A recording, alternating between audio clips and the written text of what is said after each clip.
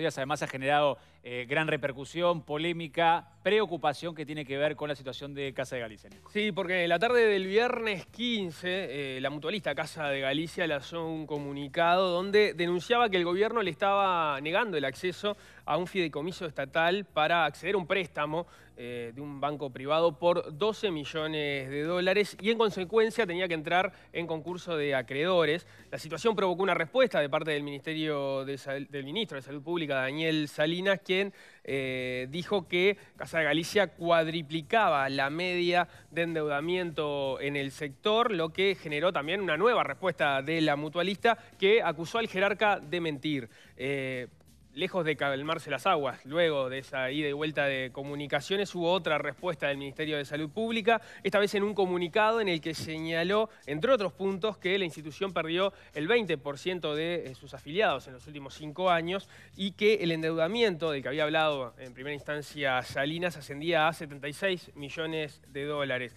Vamos a profundizar en la situación de Casa de Galicia y es por eso que nos acompaña aquí en Desayunos Informales el presidente de la institución, Alberto Iglesias. ¿Qué tal? Bienvenido, buenos días.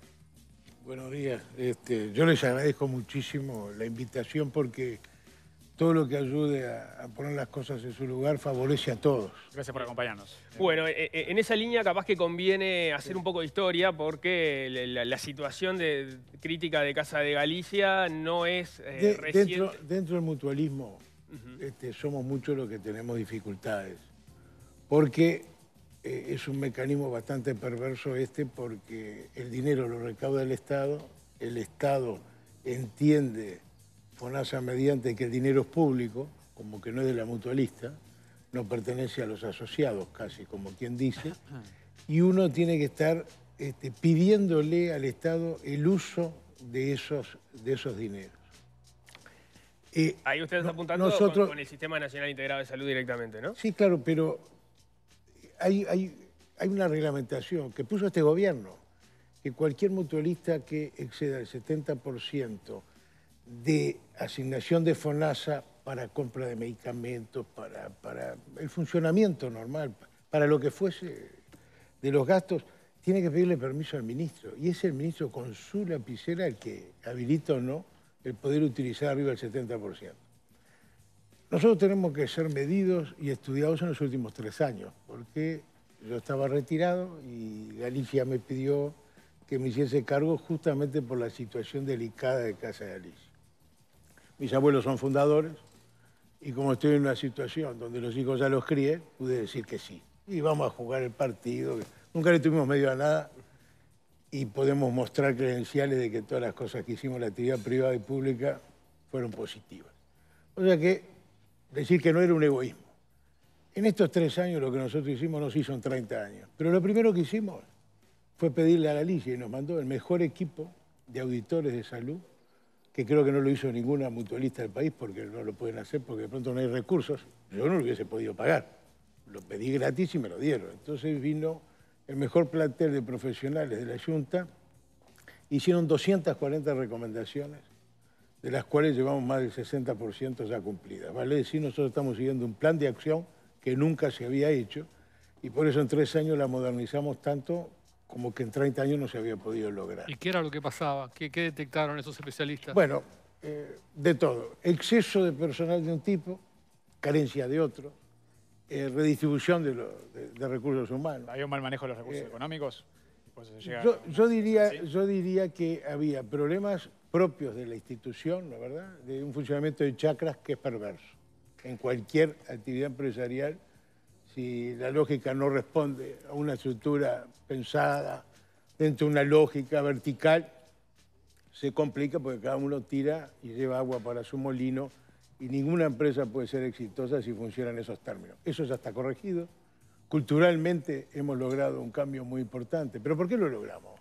Porque lo primero que hicimos fue pedirle al propio gobierno la retención de todos los dineros del FONASA todos los meses por 60 meses de los montos de los salarios de los técnicos y los no técnicos. Vale decir, más del 60% que se destina de lo que nosotros cobramos todos los meses para salario, yo no lo veo, no lo toco porque yo pedí que fuese así. Entonces, del FONASA pasa FISA y AFISA se lo deposita directamente a los funcionarios. Eso ¿Saben era para solucionar un problema de pago de, de- de aportes era- era por y de pago a los trabajadores cultural, que se venía cultural, dando, ¿no? Cultural, cultural, cultural, porque todo ese tema de desorden histórico llevó a que algunas situaciones fueron bastante complejas para corregir. Me encontré con salarios este, eh, pagos en distint- de distinta manera, de diferentes características, con diferentes atrasos, con adelantos, con salarios vacacionales este, que hacía cinco años no se pagaban, en el caso de los médicos ya pagué el 50%. Lo que quiero señalar es que pusimos la casa en orden. Ahora. Digo yo que somos en este momento casi un modelo. eh, Pero, eh, pero estaban pidiendo un préstamo ahora, luego de ese fideicomiso de hace Pero hay un 18 detalle muy 18 meses, importante. que era de cuánto fue el fideicomiso en aquel momento. No, 18 meses no, miente el ministro. bueno, a ver cómo fue No, no, no, no, no. Fue, lo hablé con el presidente Tabaré Vázquez en noviembre del 18 en Suárez, a los 30 días que yo asumo.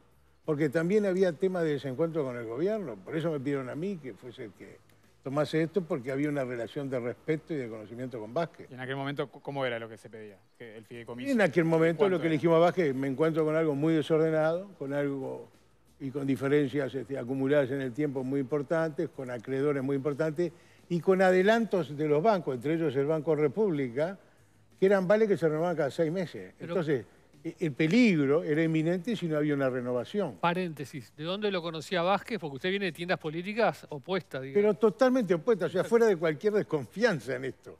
Lo que pasa es que en el año 89, cuando Vázquez este, gana la, La intendencia. intendencia, él precisa, no bien, no bien asume, este, un entendimiento con ediles de otros partidos y otros sectores para llevar adelante su política de- del boleto, la rebaja del boleto, todas las políticas que él tenía que llevar adelante.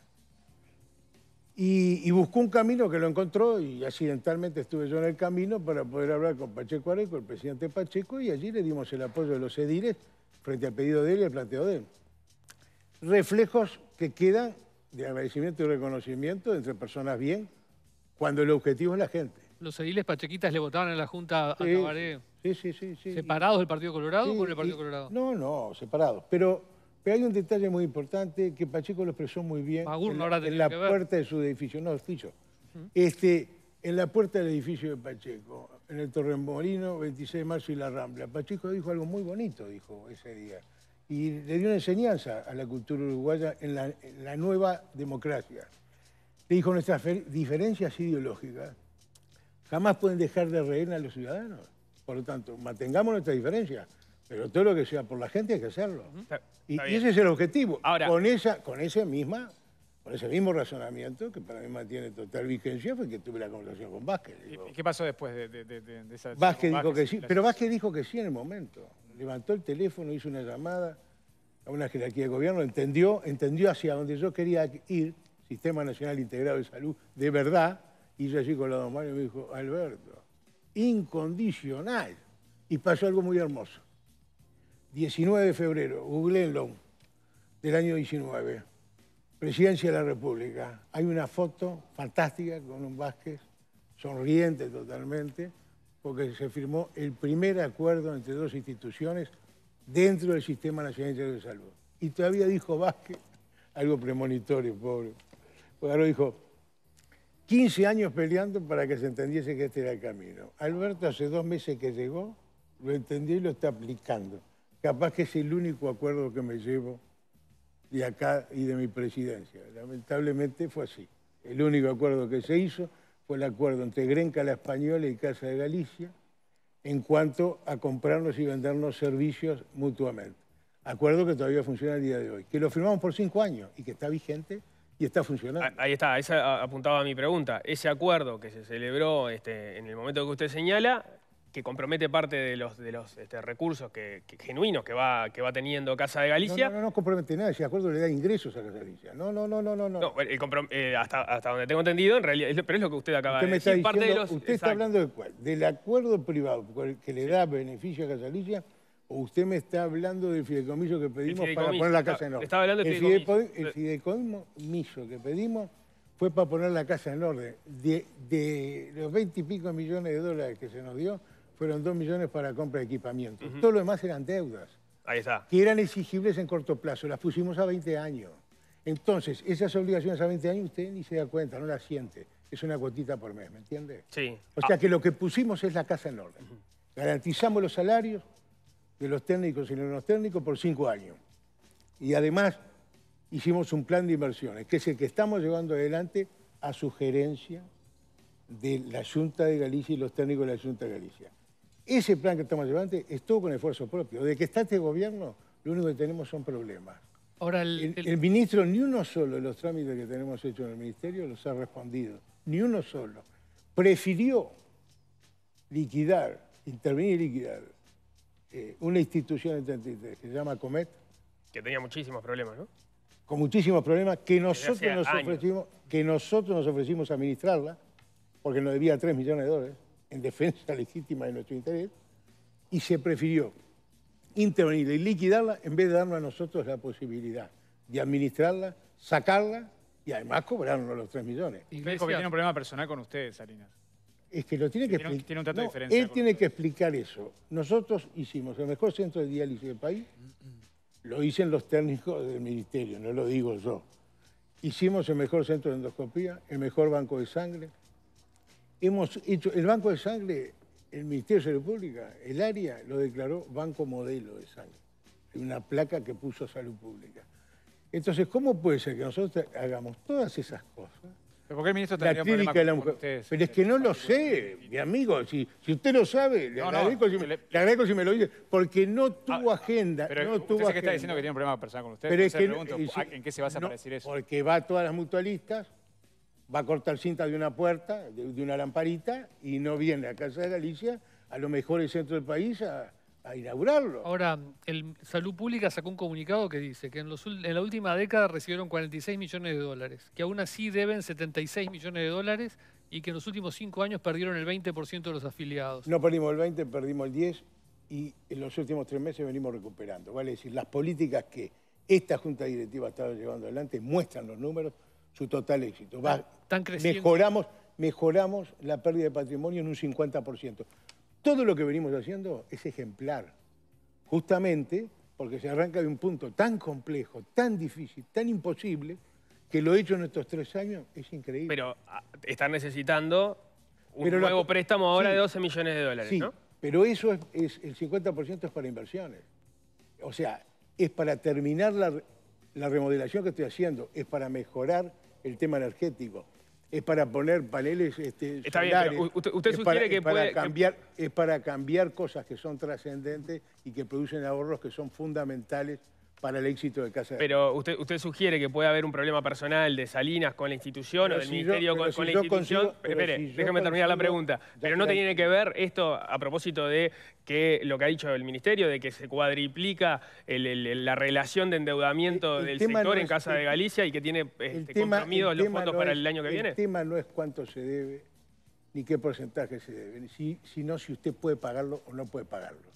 ¿Está bien? Porque si no, la, la vida sería todo matemática, aquello matarlo, aquello que matar, pero no es así. Entonces, si yo estoy mostrando que se puede pagar, si yo estoy mostrando que vamos creciendo, si tenemos ya un convenio con ACE de hace tres meses funcionando, que está representando más de 200 mil dólares de ingresos por mes. Si estoy atendiendo tres personas por día en la puerta de emergencia de ACE de la zona oeste por las emergencias que, que se le producen. Si tenemos 20 camas ocupadas permanentemente en apoyo a ACE, porque si no, esas 20 camas este, le están solucionando temas que si no, no podría solucionar. Lo que quiero decir es, nosotros estamos caminando con éxito y lo mostramos. Entonces no hay ninguna... Tan es así que la banca privada me dice que sí. Escuche, ¿usted conoce algún banco privado que regale plata? O que sean tan tontos. no, no tenía- pero, pero no son tontos. ¿Qué van a ser tontos? Entonces, cosas muy fundamentales. Primero, creen en el proyecto y creen en las personas que están administrando el proyecto. Si no, no la acompañarían. Ta- También pueden pensar que en última instancia no se va a dejar quebrar la institución y que se vaya a tener. Mire, pensar ¿no? solo, pueden pensar todo lo que sea, pero todos a favor de Casa Galicia lo que piensan. Si no, no ponen la plata. Entonces, si la banca, que tiene los mejores técnicos para medir riesgos, están de acuerdo en apoyar a Casa Galicia, y si la plata no se la estamos pidiendo al Banco República, no se la estamos pidiendo a la FAR República, no se la estamos pidiendo a donde piden todo lo demás, que dicen que tienen mejor nivel de endeudamiento que yo, y- pero, pero a los bancos no les dan. O sea, tienen que ir a lo, a lo- a lo público. Entonces ya demuestran por todos lados que nosotros tenemos que ser apoyados. Entonces, ¿cómo nos va a frenar el ministro lo que estamos ¿Cómo nos va a frenar el ministro y no nos va a firmar los saldos que tenemos de FONASA porque dice que estamos, tenemos FONASA muy endeudado? Pero ¿cómo lo tenemos muy endeudado para pagar los salarios por, por cinco años? Porque está acordado. Pero eh, precisamente, eh, una de las cosas que decía el ministro era que tenía casi el 100% de los fondos comprometidos, Casa de Galicia para el año que viene. ¿Cómo tenemos, tenemos el 90% el año que viene. Y, pero como yo pago todos los salarios ya... 91 según el comunicado. El, 91, el pico que me queda, el 9%, lo uso para pagar BPS. O sea, lo que yo le pido... ¿El préstamo cómo se paga? El préstamo es dos años de gracia. bien. Y entonces cuando termina la gracia, yo tengo disponibilidad de 3 millones de dólares por mes. Entonces, ¿por qué me está? ¿Por qué me está? En el momento justamente de estos meses, que ya lo tengo solucionado porque el propio banco lo entendió y me da 24 meses de gracia, ¿por qué me van a frenar esto? ¿Qué pasa si no sale el préstamo este? Y va a haber problema, ¿no? Y el primer grave problema que hay es que el ministro no me está dejando pagar el BPS. Y si no me deja pagar el BPS, ¿qué es el certificado? Si cae el certificado, eh, no, me, no me ingresa la plata de FONASA. Si no ingresa la plata de FONASA, esa plata que es nuestra, que nos corresponde y que tiene que ir a los salarios, no iría. Por lo tanto, pregúntele a la FUSCE lo que va a hacer, si no cobra. ¿Verdad? O sea, es un disparate lo que está haciendo el ministro. El ministro, por alguna rara razón, declara el informe de los veedores. Veedores que contrata, selecciona el Estado, el ministerio.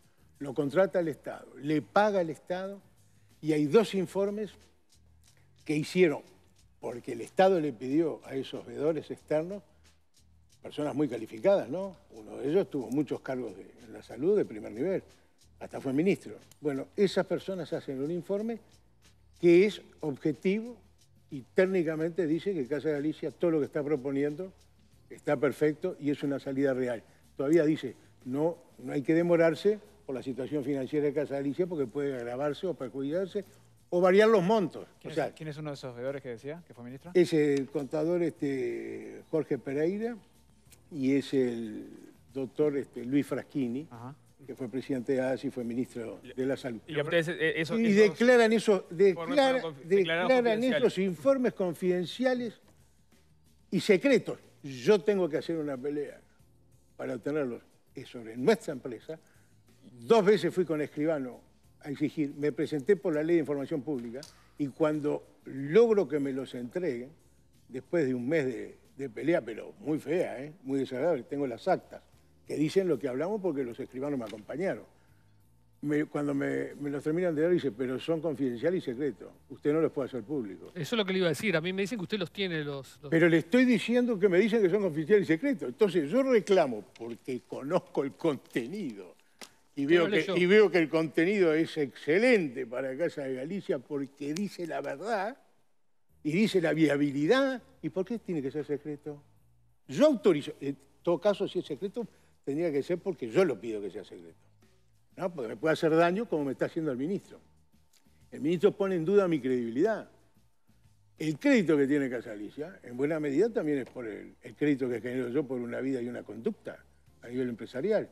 Entonces ahora me llaman los proveedores y me dicen, Alberto, me quedo tranquilo, te puedo seguir fiando, me vas a pagar.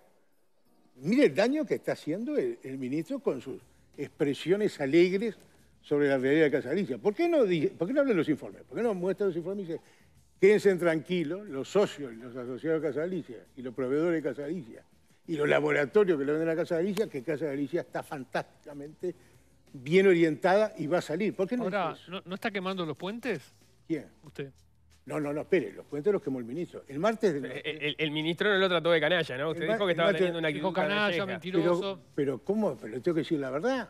Porque él sale públicamente en una conferencia de prensa el martes a hablar de Casa Galicia y dice, miente descaradamente. Dice así, pero ¿cómo? Este gobierno o algo parecido en los últimos 18 meses le dio 20 millones de dólares a Casa Galicia. Y ahora pide 12 más. Y se tuvo que presentar a concurso eh, la semana pasada porque es una demostración de su incapacidad para administrar y gerenciar Casa Galicia. No, pará, pará, hermano. O sea, primero, no me diste nada, no viniste nunca, no me contestás ninguna nota, no me dejaste administrar comer y preferiste cerrarla. Me haces todo eso y todavía vos decís que el problema es gerencial. No, yo, yo no te voy a permitir que además me insultes. ¿Cómo puede eh, Iglesias afectar esto a, lo- a los, a los afiliados que usted acaba de mencionar? No, no, los afiliados tienen que estar tranquilos. Eh, el personal técnico y no técnico está alineado incondicionalmente. Sería una barbaridad que yo no reciba la plata por pagar los sueldos y los salarios cuando comience el mes. Eso, eso le prenderían fuego los propios funcionarios a- al ministro y al gobierno si le genera esa situación y no cobra. ¿Eso puede pasar? Por- y no sé. Eso hay que preguntarle al ministro. Él está jugando con fuego. Ahora, ¿yo qué tengo que hacer? ¿Usted no compartió con la FUS el- estos dictámenes de los veedores? me dijeron que yo no los puedo hacer públicos, no se los puedo dar a nadie. Y yo cumplo rigurosamente la ley y respeto la autoridad, porque creo en el Estado de Derecho, creo en la República y por eso fui a la justicia. Porque es un poder independiente y el Poder Ejecutivo, a través del ministro, que le miente al presidente, que le miente a la ciudadanía, que le miente a todo el mundo, está poniendo en jaque un- y generando una situación muy delicada. Y por eso ahora de un rato empiezo con el legislativo. Ahora a las 10 de la mañana ya comienzo con los diputados de la Comisión de Salud, mañana de tarde con los senadores de la Comisión de Salud. ¿Lo van a recibir Eh, en, la, hoy- en las comisiones? Sí, claro, claro, claro. Y, y acá viene otro capítulo, que ya será y correrá por cuenta, por supuesto, del poder político, el cual no me es ajeno, la verdad, porque son colegas, la mayoría, y muchos de ellos. Algunos son jovencitos, no los conozco, pero los veteranos fuimos compañeros. Claro. O sea que nos conocemos bien. Vale decir, saben que soy un hombre de palabra, un hombre de bien y un hombre de trabajo. Cuando empiecen a mostrar papel y empiecen a ver papel y vean los comportamientos, las explicaciones las tengo que dar yo. Las tiene que dar él que las debe dar a través de sus hechos, que es el ministro. ¿Y con el gobierno tiene algún otro contacto pendiente o previsto? Que no Bueno, sea, fue, digo, ya que con el ministro Vamos no, a decir que si hay, Con el ministro no se van a reunir. Si han interesado... No, eh, el ministro... usted le pidió reunión y dice que no se la... Están todas las no entrevistas pedidas por la Junta Directiva, por mail, y, y no, ni siquiera tuvo la diferencia de contestarla, porque podía haber dicho no. Eh, ni tampoco eso. O sea, es muy triste. Con el ministro no puedo hablar de diciembre del año pasado. Con eso, con eso está todo dicho. Y otra no, y en diciembre pa- pasado tuvimos una conversación personal porque le tuve que pedir al general Manini que le pidiese que me, me recibiese. Es muy triste, ¿no? Digo, ¿Ustedes no puede funcionar ¿Se así. conocían de antes? Nunca más lo había visto en mi vida. ¿Usted, usted había escuchado que había un doctor Salinas que, que apareció de ministro? Bueno, pero yo no, no estoy... No, pero, ¿quién- no, pero quiero decir, nadie lo conocía a Salinas. Yo por lo menos no, y mis amigos tampoco. Pero bueno, es ministro. Alguien decidió que fuese ministro. También que se haga cargo el que decidió que fuese ministro de la situación que está generando el señor ministro. Pero- pero presidente de la República. El presidente. No, fue Cabildo el que sugirió el nombre Salinas. suge- claro. Por acuerdo Bueno, pero- político. bueno, pero luego decide el presidente-. Bueno, pero fue, fue, fue Cabildo. Y usted habló con Manini. que se- Manini ¿eh? fue el que, el que tiró el nombre sobre la mesa. Usted habló con Manini. Pero le estoy diciendo que en diciembre del año pasado tuve que pedirle a Manini que me recibiese, pero fue personal, este, no fue institucional, ¿usted me entiende? ¿Y ahí lo recibió o no? Claro, y tuvimos una conversación para ajustar algunos detalles y yo jamás hago público una, una conversación privada entre dos personas. Pero él, pero él asumió compromisos que no honró. Usted- Por eso cuando le digo que... o Salinas? Salinas. Salinas, ok. Salinas. ¿Usted sigue en el Partido Colorado o Iglesias? ¿Eh? ¿Usted sigue siendo del Partido Yo soy Colorado? un libre pensador que practico en democracia con el voto y me retiré. Y en la última elección no fui en ninguna lista por primera vez y después de 25 años ininterrumpido de integrar el Comité Ejecutivo Nacional del Partido Colorado porque ya había aceptado el desafío de hacer esta tarea. Ajá. Y yo no podía llevarle a Casa Galicia, no tenía ningún derecho de llevarle la política a- al tema de la salud y a, y a la obra que tenía que hacer, que me tenía que entender con todo. Porque cuando vi el lío, pues no soy bobo, y estudié. O sea, no es que tomé esta responsabilidad engañado, no. Sabía que el lío, sabían lo que me iba a meter y dije por primera vez del retorno a la democracia que no integraba ninguna lista, que no iba a ningún acto y cumplí. No hice absolutamente nada para poder hacer esta obra y hacerla exitosa hasta ahora, porque se la merecen mis abuelos, que son fundadores, y 104 años de historia que tenemos. Ah, Iglesia, le- perdón, antes, antes de, de- porque tenemos que ir cerrando ya. eh, ¿Qué pasa con la JUNASA acá? Porque también usted ha, ha señalado que acá hay un tema con la JUNASA Tengo una que noticia. puede estar vinculado a esto y de Tengo la una FUS también. se- excelente. Después de varias semanas o algunos meses, la JUNASA acaba de ser citada para este próximo miércoles, para pasado mañana, y aspiro, imagino, quiero suponer, que el presidente actual de la JUNASA, que también sería bueno saber por qué le sacaron al otro. Pero bueno, Pero, Usted eso- también- No, usted no, no, no, eso. no, es al pasar porque lo tiró en el país el otro día. pero Usted dijo que, está- que estaba vinculado al tema de bueno, Casa Galicia. bueno, es capaz que sí, este, pero que lo diga el Poder Ejecutivo. Yo no le quiero echar más. No, más bueno, pero si va a sembrar la suspicacia, no, puede decir con qué elemento lo- estaba, lo No, pero yo no estaba en la evaluación cuando se tomó la decisión de sacarlo. Ah, pero por algo lo... ¿Y ¿Qué tiene que, ver con Casa, qué tiene que ver con Casa Galicia en todo No caso? sé, capaz que sí, capaz que tuvo algo que ver con Comet, no sé. O cómo, cómo liquidó Comet. Sale Machado está vinculado a una de esas. Y él tomó la decisión y hizo que el ministro y, En la, en la Junasa. y el presidente firmasen un, un decreto. Dos decretos. Este, pero ahora parecería ser que el próximo miércoles, capaz que el nuevo presidente le entrega a los miembros de la JUNASA los informes de Casa Galicia. Podría llegar a suceder eso.